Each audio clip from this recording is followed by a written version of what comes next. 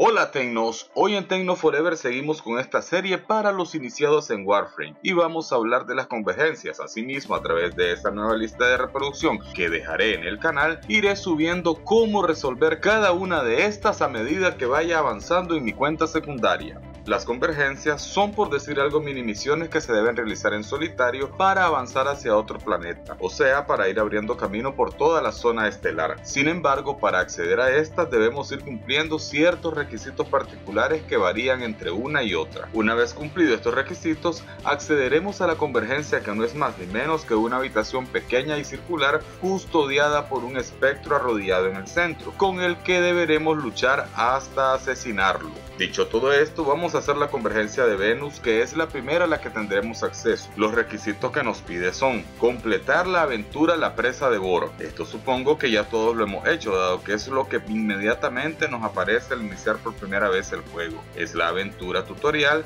y de esta hay una guía en el canal, así que no diré más. Si necesitan ampliar, revísenla. La dejo en el link de las tarjetitas. Siguiente requisito, recolecta 20 mods. Algo muy sencillo de hacer, únicamente necesitarán ir haciendo las distintas misiones que hay en la Tierra, único planeta al que por ahora podemos acceder. Los mods son proporcionados al matar enemigos, al abrir contenedores o recipientes o como recompensa de algunas misiones. Siguiente, aplica 4 mods a un arma o Warframe. También es sencillo, esto lo hacemos en el arsenal de la nave. Seleccionamos el Warframe o arma y pulsamos en mejorar y aquí colocamos los cuatro mods. Para más detalles, revisen el video donde explico lo relacionado al orbitador, también se los dejo en las tarjetitas. Otro requisito, mejora cualquier mod al rango 2 o más a través del proceso de fusión. Esto igualmente lo hacemos en el orbitador en la sección de mods, también explicada en el mismo video que les recomendé anteriormente.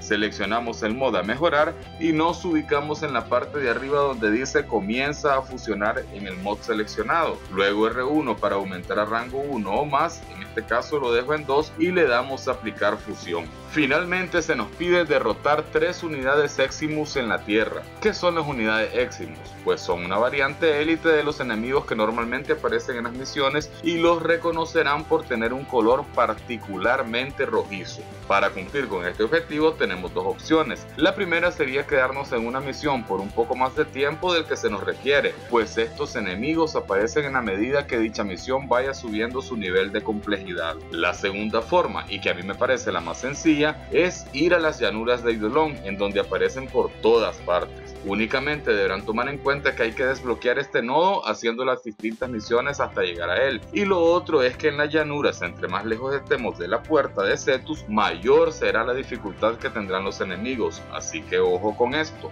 Una vez cumplimos todos los requisitos, vamos a la convergencia en donde tendremos que matar al espectro de Rino. Algo triste para mí, pues.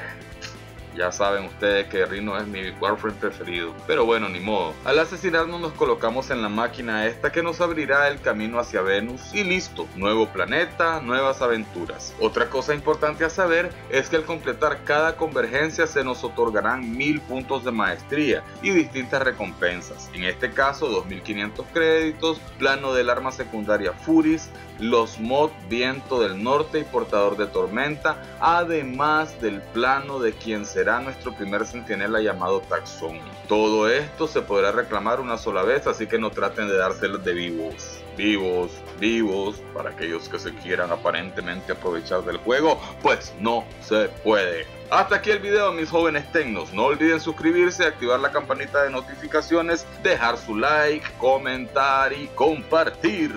Nos vemos pronto.